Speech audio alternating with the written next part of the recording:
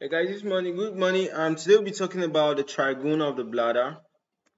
All right, uh, a very important area in the bladder called the trigone. Okay, urinary trigone. I could see that it is called tri. Okay, trigone, triangle. Okay, this is just for you to know that the trigone is just like a triangle. It has three parts. Okay, those parts we'll be talking about them.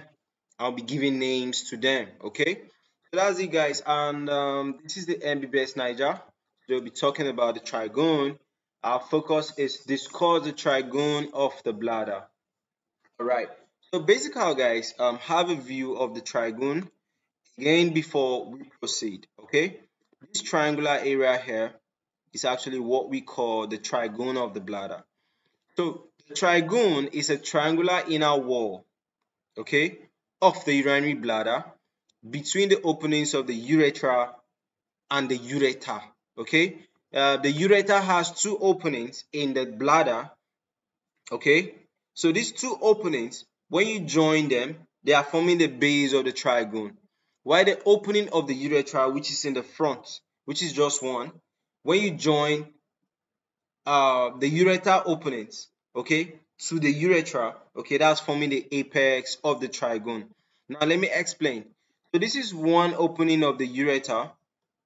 This is another opening of the urethra, of the ureter, okay? When you join it, that's the base of the triangle, okay? So this is the opening of the internal urethral orifice, okay? When you join here to here, join here to here, okay? They are forming the apex of the trigone of the bladder, okay? So unlike the remainder, so why do we study this area? Okay, that's what we are going to talk about. Unlike the remainder of the urinary bladder wall, which is coaxially trabeculated by crisscross uh, muscle fibers, the mucosa in the trigone is smooth due to the attachment of the muscular coat. Okay, so you could just you could see it. I see a lot of twist, twist, twist, twist, twist, twist, all in the muscles of the bladder but when you are coming to the trigone, can you see how smooth the muscle there is? Okay, is because of the attachment of the muscular coat. All right. So now let's talk about the angles of the of, of the trigone. Now we'll be using this image to illustrate everything we are talking here. So the three angles of the trigone are the two ureteric orifices, superolaterally, superiorly but laterally. Okay, and the internal urethral orifice inferiorly okay? So this is the uh, ureteric orifice okay? This is it. I could see that I have one here you have one here. So coming down here we have the internal urethral orifice. That's the opening of the ureter into the bladder okay? Then this side here is forming the base. If you connect like this connect like this they are forming the apex of the trigone okay and note this name. The line that connects this and this is called the interureteric bridge ridge or the bar of Mercier. Okay, so I won't go back there again. You guys already have enough knowledge.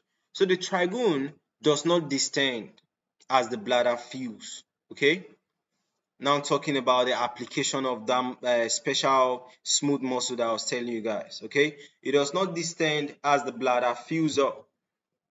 Okay, um, its apex is directed downwards. Okay, I told you guys connecting those ureteric orifice to the uh, to the internal urethral orifice. Okay, that's the apex and it is downward. Okay, the base is up.